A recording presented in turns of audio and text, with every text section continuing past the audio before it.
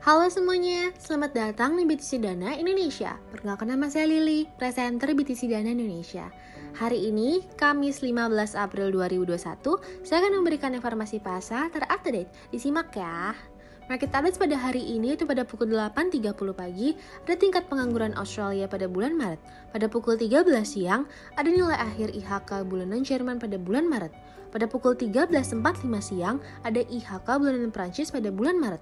Pada pukul 19.30 malam ada tiga data. Yang pertama, jumlah klaim tunjangan pengangguran Amerika Serikat hingga 10 April. Yang kedua, tingkat penjualan retail Amerika Serikat pada bulan Maret.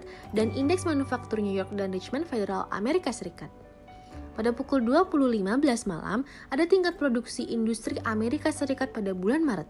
Pada pukul 21 malam, ada indeks pasar rumah NAHB Amerika Serikat pada bulan April.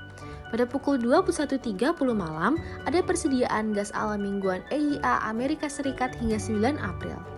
Untuk data terakhir atau keesokan hari pada pukul 2.45 dini hari, ada pidato Clarida Federal Amerika Serikat.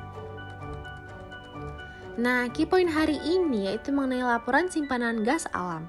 Laporan simpanan gas alam di Energy Information Administration atau EIA menghitung perubahan kuantitas gas alam dalam kaki kubik yang disimpan di penyimpanan bawah tanah selama minggu lalu.